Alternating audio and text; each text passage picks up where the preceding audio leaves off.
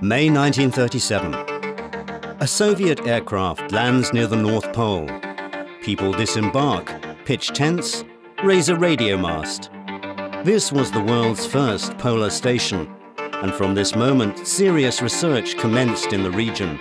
Today, we are at the beginning of the 21st century, and already commercial development of the Arctic has begun.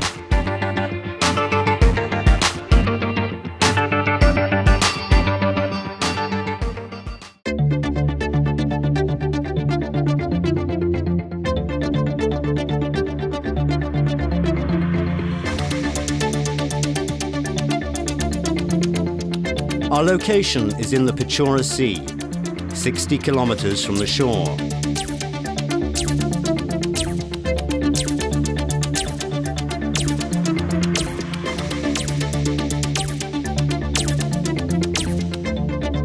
At least 150 people work on the platform. It's equipped with everything necessary for living and working on board. The platform is self-contained, with supplies to last three months in isolation. The platform is effectively an artificial island. The base of the platform sits directly on the seabed. Here's some background. The platform was constructed not in the Pechora Sea, but on the mainland, in the city of Severodvinsk.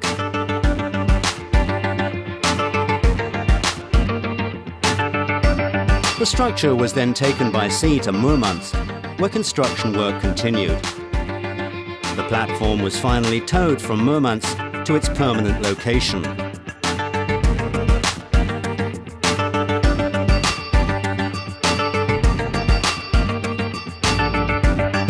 Here it took on water ballast and was positioned on the seabed, with stones and gravel built up around the base to hold the platform firm against strong currents. The platform base is fixed to the seabed by its own weight. It's also called a gravitational platform. The most substantial part of the platform is its caisson.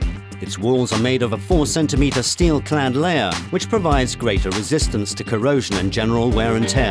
This steel has high durability and is able to resist the aggressive marine conditions. The caisson's inside walls are also made of steel, which are further reinforced by a 3-meter layer of super-strength concrete. This, like the water inside the caisson, also acts as ballast. This mountain-like structure is built to withstand the force of ice or waves, and even a magnitude 6 earthquake.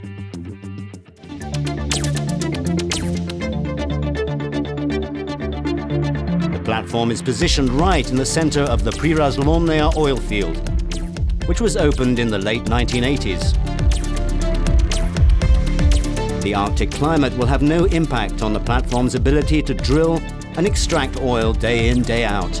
Drilling is insulated from the outside and the grid pipes are positioned under a kind of hood inside the caisson. There will be 36 wells in total. Horizontal drilling technology will be employed here.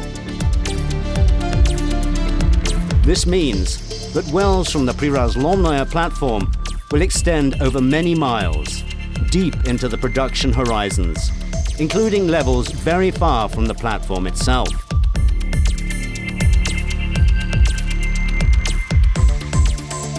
And what becomes of the platform's drilling waste?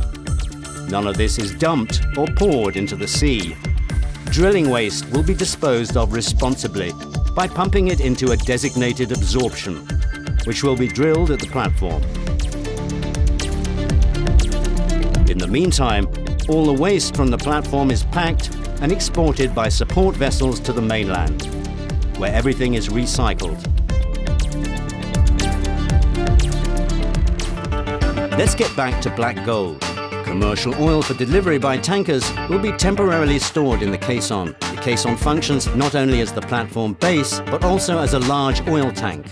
Two shuttle tankers will export the oil from the platform, and the valuable raw material will be loaded using a special system called the Direct Oil Offloading Complex, or DOOC. With this system, the tanker does not need to approach too close to the platform for loading. The DOOC extends outwards to reach the loading pipeline. Using powerful pumps, it takes 8 to 9 hours to fill one of these tankers.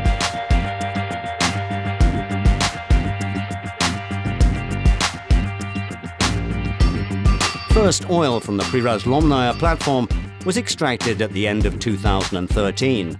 In April 2014, the first tanker of oil set off from the platform. The industrial operation of this large-scale Arctic Prirazlomnaya project is only just beginning.